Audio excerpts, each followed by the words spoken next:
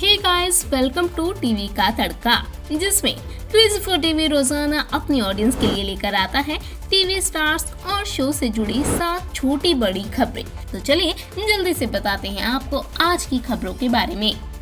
TV का तड़का, पहली टॉप न्यूज़ इस शो की एक्ट्रेस ने किरदार के लिए देखा इमली शो स्टार भारत पर मेरी सास भूत है नाम का नया शो आने वाला है, जिसमें लीड रोल में नज़र आएँगी एक्ट्रेस काजल चौहान। ऐसे में शो में अपने किरदार के टोन और लैंग्वेज के लिए काजल ने सुबुल तौकीर खान के शो इमली में उनके किरदार को देखा, ताकि उन्हें सुम्बुल के किरदार से अवधि भाषा और उस टोन में बात करने का पता चल सके। इस बात का खुलासा एक्ट्रेस ने खुद ई टाइम्स को दिए इंटरव्यू में किया है। टीवी का तड़का, दूसरी टॉप न्यूज़। बंद होने जा रहा है ये बड़ा शो।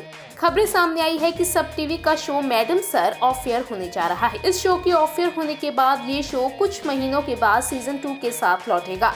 टीवी का तड़का, तीसरी टॉप न्यूज़। कुमकुम भाग्य नहीं, बल्कि इस शो में होगी अलीशा पवार की एंट्री हाल ही में खबरें सामने आई है कि कुमकुम भाग्य में पाँच साल का लीप आएगा और इस लीप के साथ एक्ट्रेस अलीशा पवार शो में नेगेटिव शेड में एंट्री लेंगी। लेकिन आपको बता दें कि अलीशा कुमकुम भाग्य नहीं, बल्कि एकता के ही शो बड़े अच्छे लगते हैं, टू में एंट्री करने वाली है। टीवी का तड़का, चौथी टॉप न्यूज़। कलर्स टीवी पर आने वाला है इस शो का हिंदी रीमेक।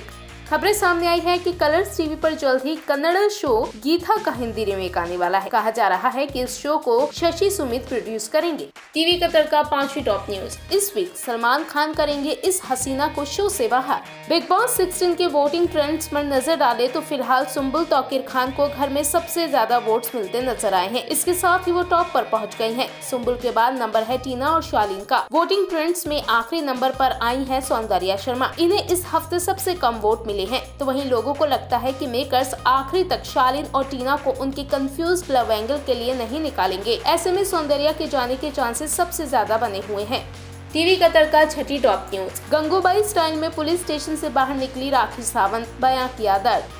पिछले साल 9 नवंबर को शर्लिन चोपड़ा ने राखी के खिलाफ कंप्लेंट फ़ाइल करवाई थी। शर्लिन का कहना है कि राखी उनकी और बॉलीवुड के बीच की लड़ाई में बिना वजह कूद गई हैं। 19 जनवरी को राखी को हिरासत में लिया गया, पर जब वो पुलिस स्टेशन से बाहर निकली तो अलग ही स्वैग में नज़र आई।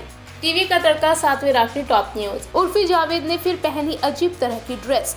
बिग बॉस फेम और एक्ट्रेस उर्फी जावेद अपने अतरंगी ड्रेसिंग सेंस को लेकर काफ़ी पॉपुलर है। वो कब क्या पहनकर आ जाए कोई अंदाज़ा नहीं लगा सकता। उर्फी जावेद एक बार फिर अपनी नई और यूनिक ड्रेस पहने हुए नज़र आई। उनको देखते ही पापराजी के कैमरे उनके तरफ़ मुड़ गए और कई तस्वीरें क्लिक हो गई उर्फी के इस अंदाज को देख कई लोग उनका मज़ाक भी बना रहे हैं और कह रहे हैं की वो ड्रेस पहनती है या फिर चिपकाती है। तो ये है टीवी की दुनिया की आज की सात छोटी बड़ी खबरें।